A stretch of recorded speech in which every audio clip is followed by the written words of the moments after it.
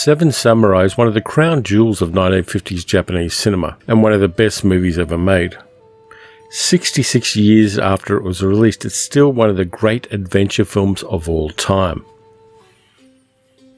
Originally, Akira Kurosawa was going to tell the story of the day of the life of a single samurai. During his historic research, he found a story on samurai protecting farmers from bandits, and that's how Seven Samurai was born. A Japanese village in the 1580s is besieged by bandits. The villagers go to the town's wise old man, who was also the town miller, and ask him what they should do. Find samurai to protect the village, masterless samurai, he says. But the villagers have no money to pay for protection. Find hungry samurai, the old man tells them. And leaving the village, they do find the samurai. Shimura Takashi as Kanbei, a war weary but honourable and strategic genius of a Ronin. Gorobei, played by Yoshio Inaba, a skilled archer who acts as Kanbei's second in command and helps create the master plan for the village's defense. Kato Daisuke as Shichiroji, Kanbei's old friend and a former lieutenant. Miyaguchi Seiji as Kyuzo, a serious, stone-faced and very skilled swordsman. Chiaki Minoru as Heihachi, a friendly and less skilled fighter who's charming and witty and keeps his comrades' morale up in the face of adversity. Kimura Asao as Katsushiro, the untested son of a wealthy landowner samurai, whom Kanbei reluctantly takes on as a disciple. Then we get the interesting one, Mifune Toshiro's Kikuchiyo, a humorous, mercurial, and temperamental rogue who lies about being a samurai, but eventually he proves he's worthwhile and is resourceful. Originally there were going to be six samurai, but Kurosawa decided the six staunch samurai would be a bit boring. He needed a loose cannon. Originally, Mifune was going to play the stoic Kyuzo, but Kurosawa, who'd worked with Mifune before, gave the actor the freedom to improvise the character, a wild, almost bestial outsider who, though not a samurai, becomes one during the events of the movie. Akira Kurosawa went to incredible lengths to give a lived in feel to his movie. He wrote dossiers for every character with a speaking role in the film, including what they wore, what their favourite foods were, their past history, their speaking habits, their reaction to the battles, and any other details he could think of. He had a registry of all 101 residents of the village, creating a family tree to help his extras build their characters and the relationships between them. The movie took over a year to film, and Toho Studios closed production twice because of the cost overruns. When they did that, Kurosawa just went fishing because he knew that they'd invested so much money in the film that, that they'd eventually come back to him and get him to start up again, and he was right. So many of the things we take for granted in action films started with Seven Samurai. The montage of getting the gang together, the romance between the youngest member of the team and a local, reluctant heroes, and the idea of introducing the main protagonist in an early sequence unrelated to the main plot were all things that Kurosawa put together in an action film for the first time. The attention to detail in this meticulously mounted production helped make the three hour runtime of Seven Samurai seem brief. This is an amazing piece of cinema, an immersive and unforgettable experience. It's the original gangster of the modern action film. Seven Samurai is the fast charger for your love of movies. When you're feeling a bit jaded, you watch Seven Samurai and your batteries go back to 100%. Of course, the Americans were going to remake it.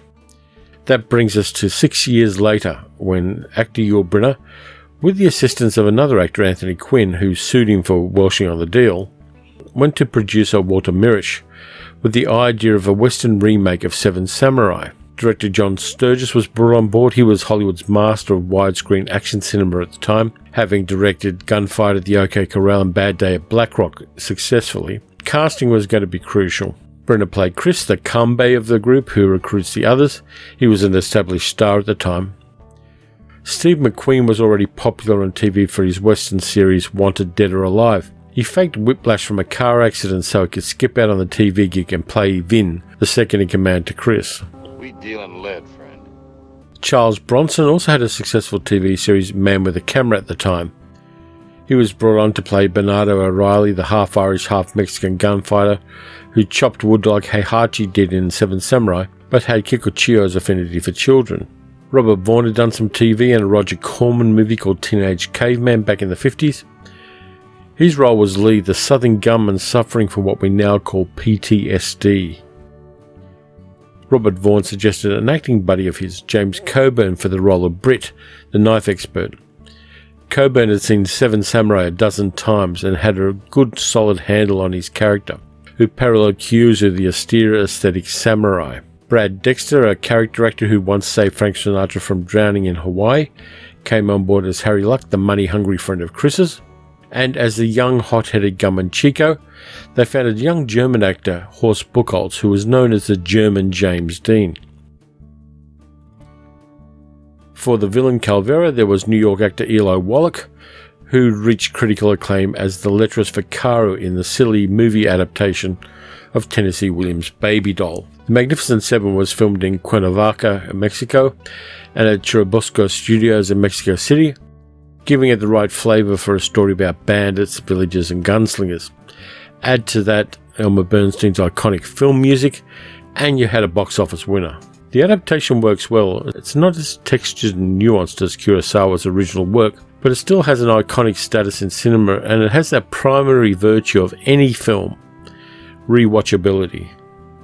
The Magnificent Seven spawned three sequels Return of the Seven in 1966, Guns of the Magnificent Seven in 1969, and The Magnificent Seven Ride in 1972.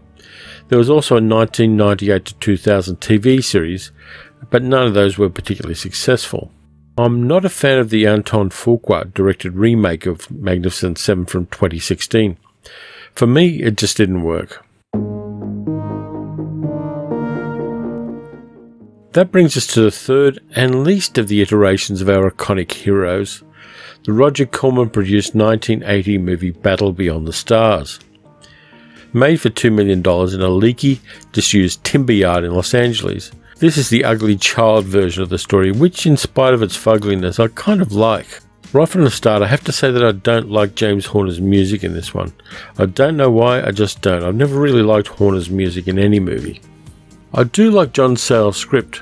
Sayles had worked for Corman before on Piranha and The Lady in Red, and he went on to make some really fine movies of his own, the best of which for me is Lone Star a modern day Western looks back at the legacy of the past and in a really interesting way.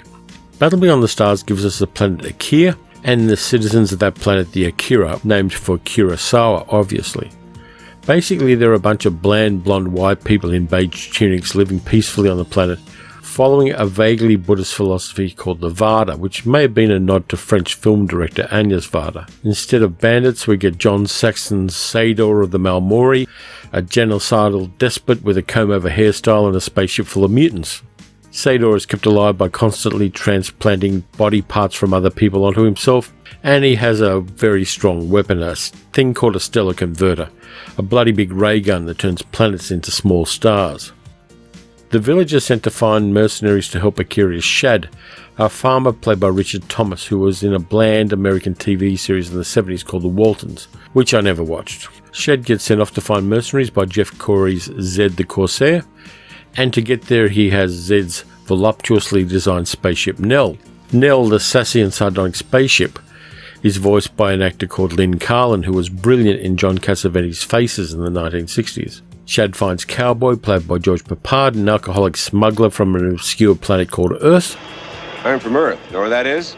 He finds Gelt, played by Robert Vaughn, a character not entirely unlike the role he played in The Magnificent Seven.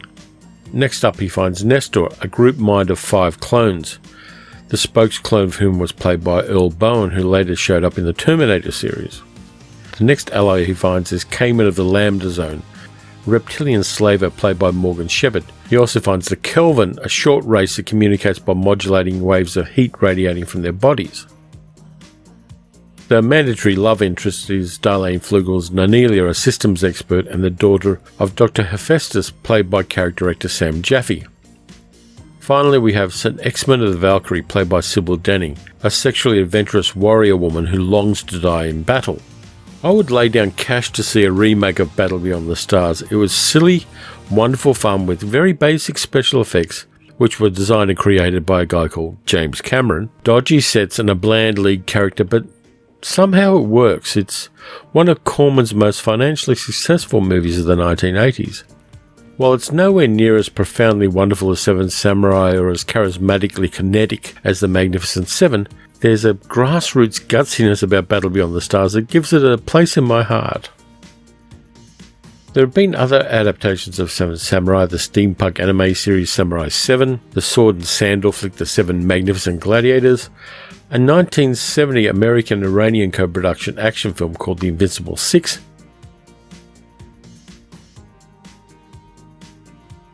Here's my tip watch the original, then go through the remakes and iterations at your own pace. It's a satisfying and rewarding cinematic journey, so take the ride. Enjoy the movies. Definitely check out the first one first. Thank you for watching. I'll be back next week with another video. If you enjoyed this video, please subscribe and hit the like button and the notification bell. And I'll see you next time.